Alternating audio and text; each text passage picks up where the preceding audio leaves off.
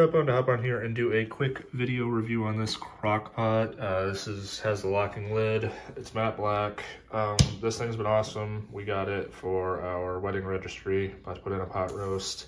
Uh, really like the locking lid. We take it a bunch of places. Um, one thing to note, do not leave it on, like heating, with the locking lid, with the lid locked. Um, nothing's happened so far, but that's just in the instructions. So just giving you a heads up. Um, but yeah, there is, so high, and then it has a timer. I don't know if you can see that light, kind of a little bit. So, and then low, eight hours or 10 hours. And then again, it has, you can go to warm and um, it'll just automatically turn off after that. So that's awesome. You could leave it uh, all day and then obviously there's an off button but yeah really like the how big it is and love the locking lid so that we can transport it places 10 out of 10 would recommend Hey, real quick, if you're interested in what you saw here, I left links down in the description.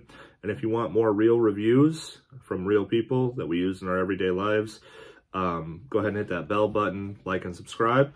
Thanks for watching.